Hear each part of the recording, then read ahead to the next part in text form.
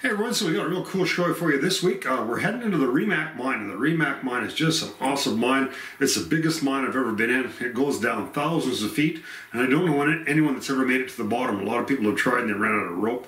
Um, there's apparently about 3,000 bats that live in there, but they don't know where exactly because they've never seen them. So we're going to go in this mine. It's really cool. Uh, first, we're going to show you a couple artifacts, and then we'll, we'll play the title, and then we'll take you to the Remac. Now, this is a really old miner's hat. It was one of the first fiberglass hats made. They were called hard-boiled hats by Bullard, and uh, they were made back around 1919 when they first started making these. These are a set of uh, Wolf mining lights. They're really cool lights. I use them in mines. So here's a set of antique gold scales uh, with brass weights there. Here's some literature from the Granby copper mine, old Granby News from uh, 1917. And here's uh, an old Tommy stick, which is uh, the first lights they had in mines and stuff, just used a candle, and uh, this just kind of comes off and hangs on your light like that. And you could stick it in the side of a shaft of timber or something, right? And here's some other lights that I got. I don't know what this is, it's called a wire press. Somehow it's used to make some sort of wire to clean these carbide lamps out. I don't really know how it works. These are a collection of blacksmith tools. I just uh, I bought a whole bunch of them and I just sandblasted them all up and uh, put a little bit of paint on them.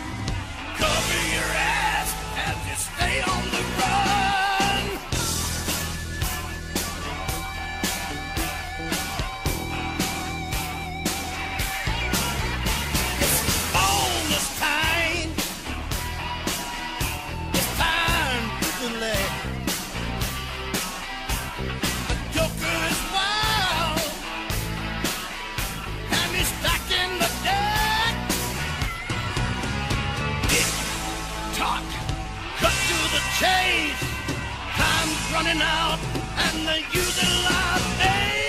Streets infected and crawled in the slime. The neon nightmare is about to unwind.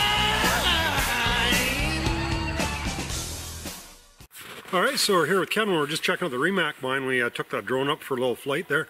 And there's just an awesome adit right up the very top that's got a real narrow, goes way in, I'll show it to you on the drone. And so we're going to try to get down to the bottom level here. All right, so we're just taking off from the kind of the lower level, the top of the mine here, uh, right by the hydro line. It's about a mile from the Pend d'Oreille River. The processor was at the river. And uh, so this is a, just a really huge mine, um, over a thousand uh, feet from the top to the bottom and then it goes way below the bottom level. So there, you know, over a mile of vertical development in this in this mine. So um, you, as you fly over it, you think, well, you know, that crack maybe doesn't look that big, but um, those trees are full-grown trees, eh? So there's two kind of a big sections that go straight down. There's been quite a few guys that tried to reach the bottom of this with ropes. Um, uh, one guy they said they had 800 feet of rope and they couldn't get to the bottom.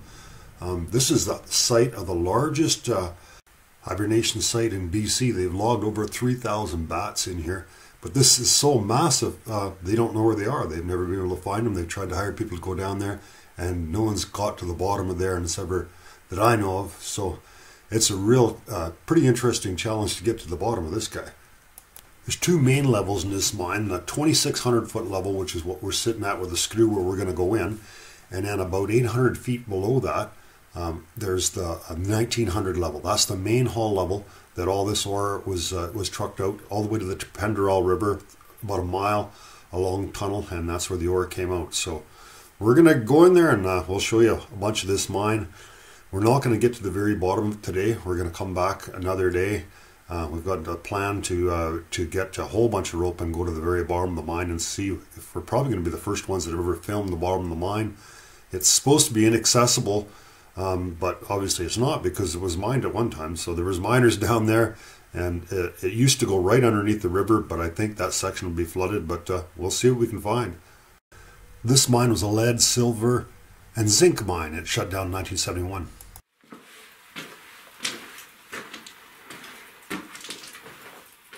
Well, pretty cool uh, big opening down there. So we're going to go in behind Ken there and we're going to go around there. Um, but as, you can see, um, looking up this way, this is how we got into this portal. And uh, we just come down, it's a little icy here, but uh, pretty extensive mine. Um, there's probably going to be miles of, uh, of, uh, of, tunnels and stuff here because from the town of Remac where we came, uh, it's quite a long ways on the Skidoo, and uh, Ken says that it's all connected. So, um, pretty exciting mine. As you can see, that's a pretty neat uh, big glory hole here that they would have mined this out. And that's what you can see from the drone when we look down. All right, so this is what we're seeing from the drone. It was a pretty impressive looking glory hole. So they mined all this out. And obviously there must be a main haulage level below us there. And probably a big railway. So uh, there's quite a few levels to this mine. You can see we're at, oh, trip there. Yeah, you can see that this is a, there's um, one level there, there's a level below that, so that's one, two, and uh, there's a uh, one there, three, and we're seeing four there. So we can see four levels just where we're standing here. Look at the sulfides on there. You can see the see the deposit, of the sulfides. That's what they would have mined. This probably all have been full of sulfides, maybe a gold mine. And uh, so we're just going to head, this uh, winds around here. We're just going to head down this tunnel here and we can see if we can get down to that lower adit. Oh, that's cool. Never been in here in the winter. Well, look at the size of those icicles there. Pretty cool. I don't think I've ever seen icicles that big. Some iron there. Well, this is a huge tunnel here, so this looks like it probably had uh, modern trucks in here. This doesn't look that old to me.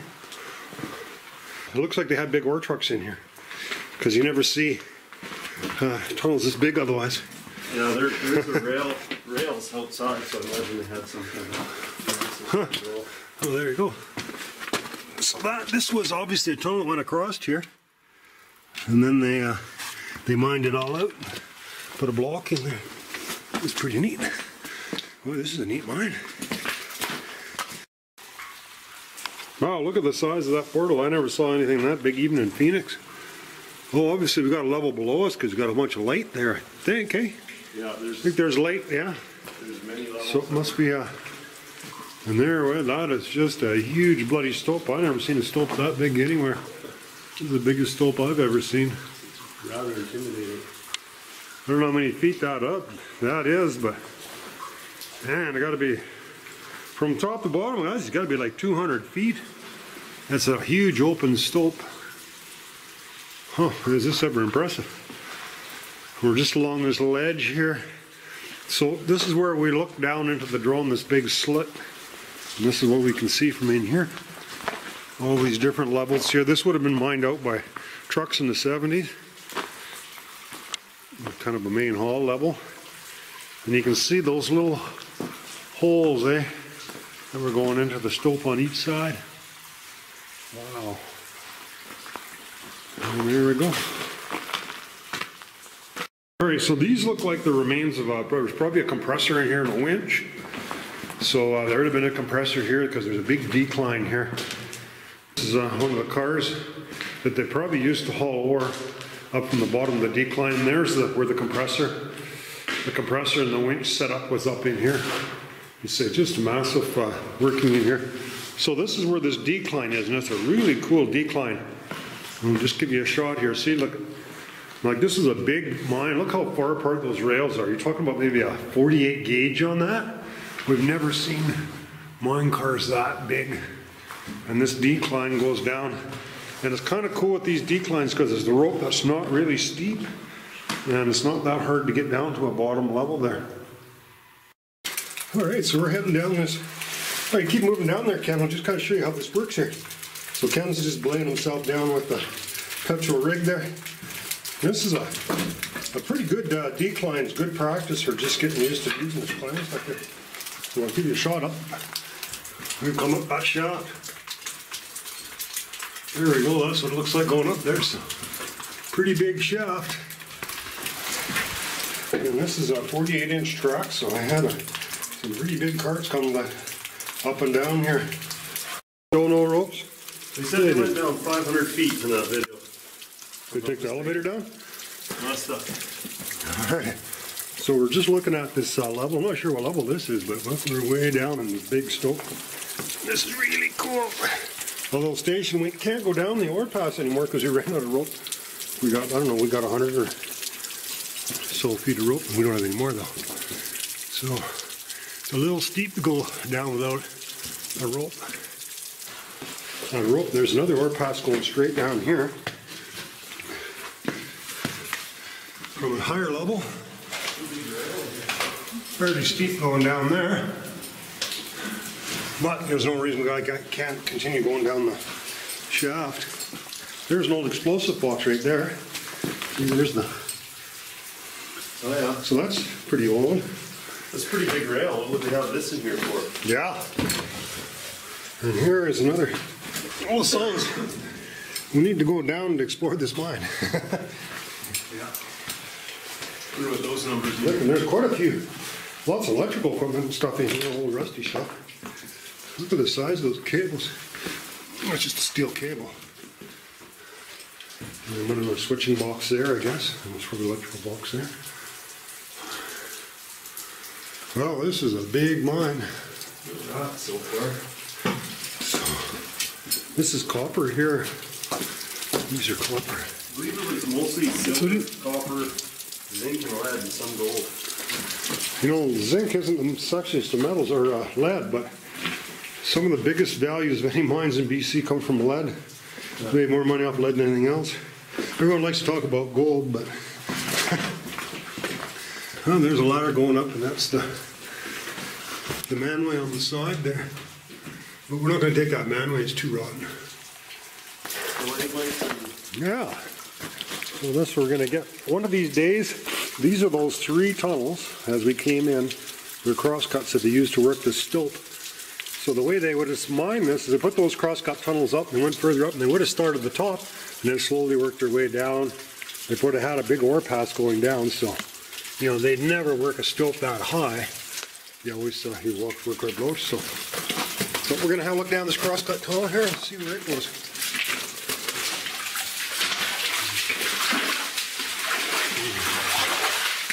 All right, well, let's go down.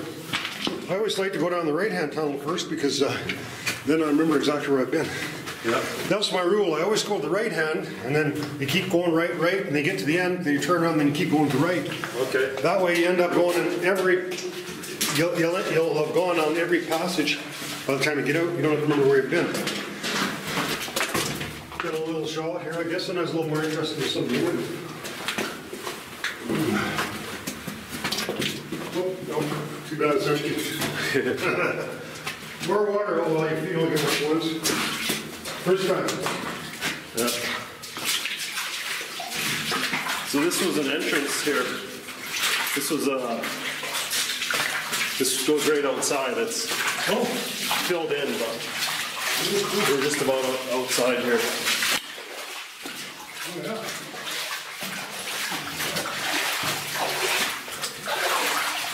All right.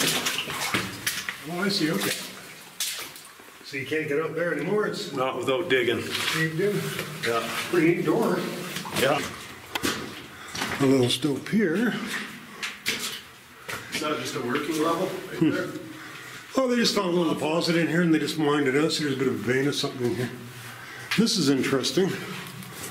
There's Sure, oh, I see. Okay, yeah, they were just little pockets to hold that. little platform to work Platform off. up there, yeah, okay. I hadn't seen that before. All right. Hmm.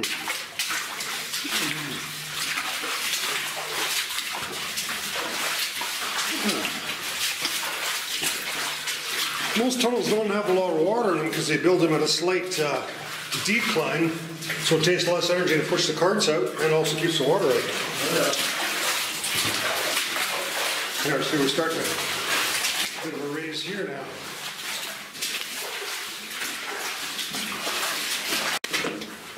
Had some calcium carbonate there at the end of a little section we were in there wasn't quartz.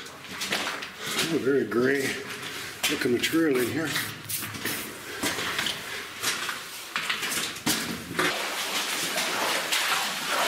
Oh, that doesn't look, we're violating our right-hand rule, but it doesn't look like it goes very far anyhow.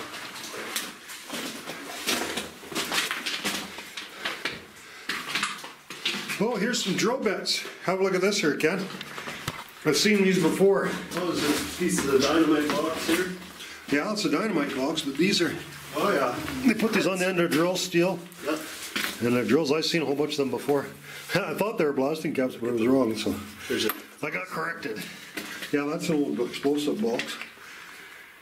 I've seen a box just like that in another mine that had those in it. So they, when they're drilling, they, uh, they just weld a new bit on the end of the drill steel, okay. rather than having to sharpen them like they used to in the old days. Yeah. Oh, there's a rat. Oh, he just stuck his nose in there. Yeah. Kind of smell them. Yeah. It had a unique odor. oh, it goes back in there. What is it?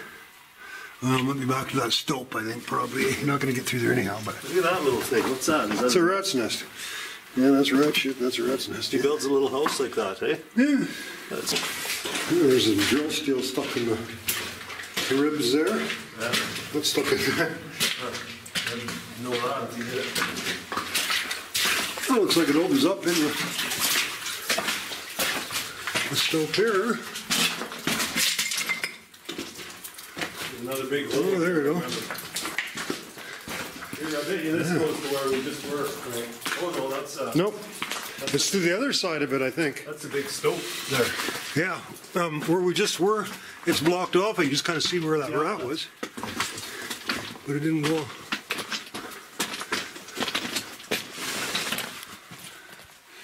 Yeah. Definitely goes to lower levels there. Oh, this is a dark section. Yeah. There's easier, probably easier ways of going down there than that. I think it'll all be connected under there anyways. I think so. I think You know, these stopes look so big. Kinda, I'd probably rather go down those declines because it's consistent, uh, grade. That's, 'Cause there's a uh, lot of crap there, eh? that's what we went down, man. That's what we were going down. Yeah. Yes. Definitely scarier looking when you're looking down into it than when you're in it. Yeah, it's not, it's not bad, I guess, eh? For me, anyway. I don't know if it'd be safer going down here or going down the stope, eh?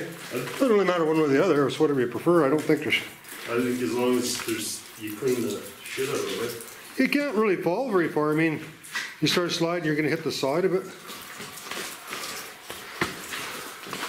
Okay, well, let's break my rule and we'll go, check this one. So that's. Because I don't think it's gonna go very far here. I think it'll just uh, be the top. it doesn't go whole lot. I can feel some air, I think. Well, you can see outside here. Oh, yeah. See, I should have stuck with my rule. Now I'm gonna get fucked up. I've been in here enough, I know where we are. Okay. Hey, that's it, this is nice. So you've been on this level, but you haven't been on the level below it? No, I haven't been below. Okay. I've been above Oh, yeah. a couple different levels of. Yeah, well, this is the easy level, right? So it's all level, right?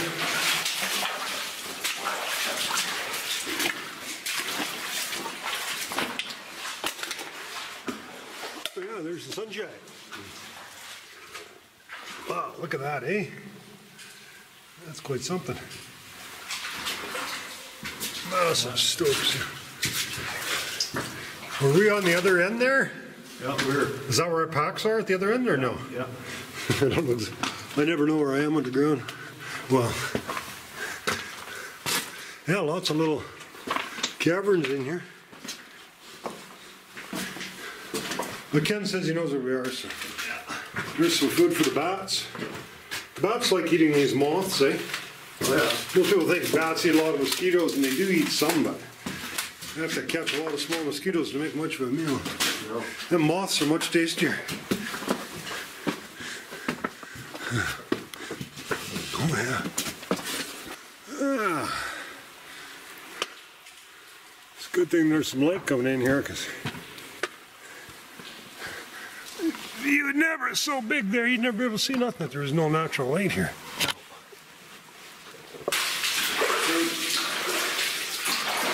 I took out some railway in here. See a lot of railway in here? Just a bit here and there.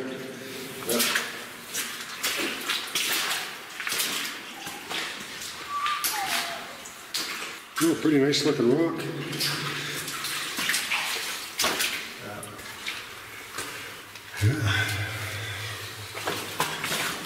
Stands right at that reef. Lots of beer cans in Yeah, you wouldn't find any uh, uh, decent explosive boxes or artifacts like that in here, I don't think, on this level.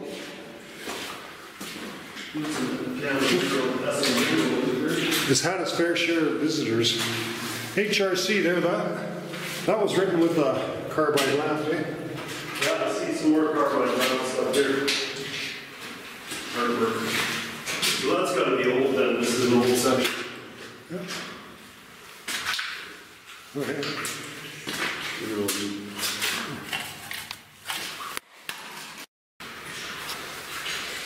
pretty fair sized mine. And here we got some rails. It was kind of cool with the rails going around the corner.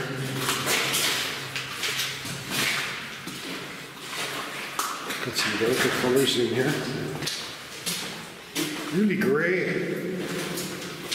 Lots of flowstones.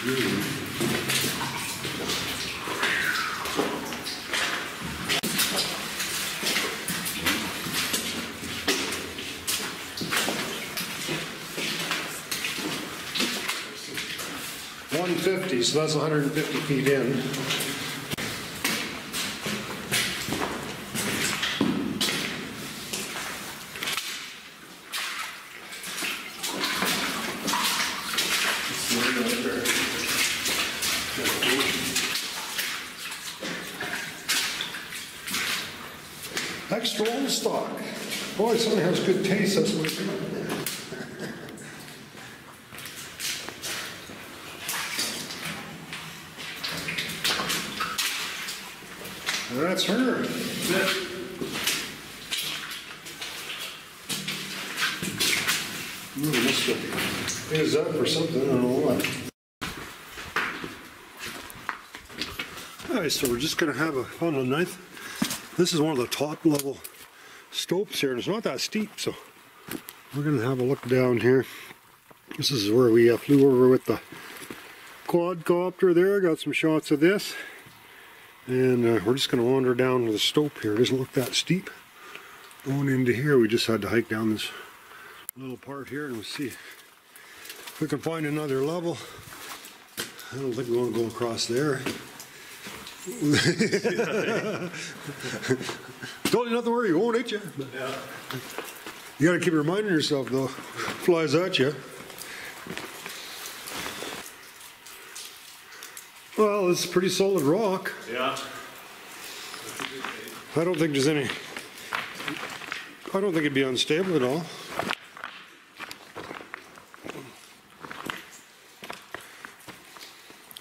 Yeah.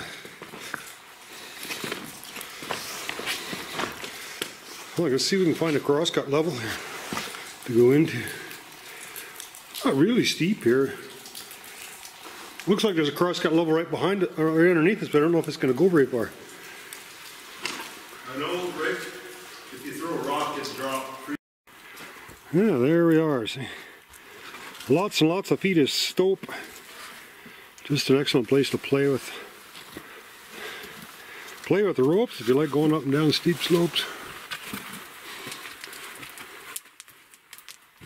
And this here is a bat monitor, so they calling the screams from the bats and a little charger here. Similar to the ones that we have, except obviously it's got a charger on it. Saw one bat in here. They were checking out another big stope. You don't see open stopes this big very many places, but here we are. We suspect this is hooked up the one that we were investigating today, but um, Ken doesn't know of any way of getting past it. But it must have been connected at one time. Pretty cool waterfall here. This is kind of the end of this stope that they mined out. And way it goes, like way down there. It goes a long ways down there. That's just a massive stope.